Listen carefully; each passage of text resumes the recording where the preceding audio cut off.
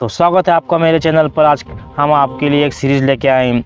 इस सीरीज़ में हम आपको बताएँगे कि के क्या होती है। और साथ ही साथ सेकेंड वीडियो में आपको बताएँगे कि बैंक आपकी के क्यों लेता है। और थर्ड वीडियो में बताएँगे कि फ़ोनपे से आपके पैसे क्यों नहीं ट्रांसफ़र हो रहे। तो दोस्तों, बहुत ही इंटरेस्टिंग और इस वीडियो आपके लिए होगा। अगर आपको कुछ सीखने को मिलेगा चैनल पर नए तो चैनल को सब्सक्राइब करके बेल आइकन को दबा देना इससे क्या होगा कि आने वाली वीडियो की नोटिफिकेशन आपको मिल जाएगी सबसे पहले तो हम जान लेते हैं कि के क्या होती है। के का मतलब ही होता है नो योर कस्टमर यानी कि आप अपने कस्टमर को जान लीजिए।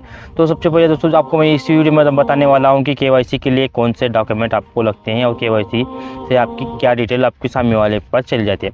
तो सबसे पहले केवाईसी के लिए डॉक्यूमेंट लगने वाले डॉक्यूमेंट की बात करें तो सबसे पहले आपको लगता है आधार कार्ड, वोटर आईडी या पैन कार्ड, इससे आपकी के होती है। के वाई इसके ऊपर आपका जो एड्रेस होता है, सामने वाले के पास आपकी डिटेल चल जाती है, आपके बारे में जानता है। तो इसीलिए आपको बताएँगे नो योर कस्टमर यानी कि आप उसकी जानकारी आपको मिलनी चाहिए। ओके दोस्तों, ऐसे इंटरेस्टिंग वीडियो अपने चैनल पर अपलोड करता रहता हूँ। और जो सीरीज़ मैंने बोला है कि अगर आपको सीरीज़ की वीडियो आपको अगर देखने हैं तो इसी चैनल पर आपको मिलेंगे।